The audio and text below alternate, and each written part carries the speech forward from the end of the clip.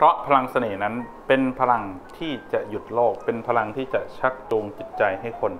ทำทุกสิ่งทุกอย่างที่เราต้องการได้ ชุดที่เราเนี่ยนะใช้วัตถุมงคลคู่กันแบบนี้เนี่ยจะเป็นวัตถุมงคลที่ส่งผลต่อจิตใจมากที่สุด เราดูวัตถุมงคลชิ้นนี้นะ ชุดนี้เนี่ยเราจะเห็นว่าเป็นรูปสุภาพสตรีที่มีการนอนนะอยู่บนหลังของม้าซึ่งมีเสน่ห์แรง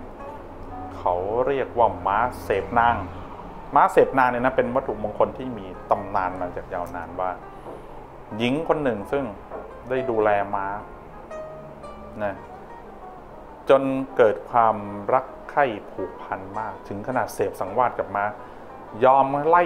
ออกจากบ้านนะให้ตัวเองไล่ออกจากบ้านเพราะความรักความเสียหายที่มีต่อมานั้น แล้วจึงกลายเป็นวัตถุมงคลที่ชื่อว่าม้าเสพนาง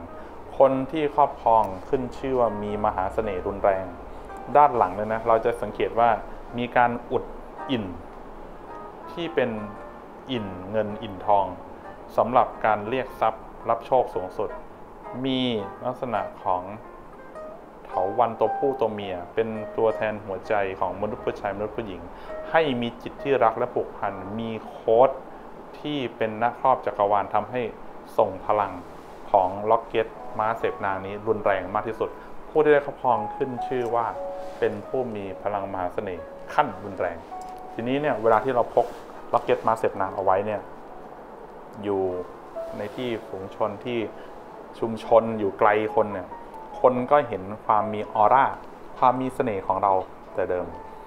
ถ้าหากว่าอยู่ไกลจากคนที่เป็นเป้าหมายเขาก็รักและคิดถึงเรา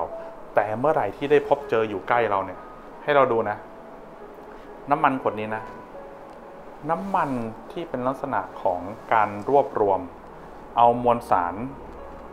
ครูเสน่ห์ใส่เข้าไป ถึงแม้จะเป็นหลอดเล็กๆขนาดทดลองเนี่ย แต่เมื่อใช้แต้มเจิมที่หน้าอกทำให้เราเป็นคนที่มีคนเนี่ยรักคิดถึง แต้มเจิมที่หน้าท้องเป็นจุดใกล้ทางเพศ ย่อมเป็นน้ำมันที่ประจุพลังทำให้คนเขารู้สึกว่า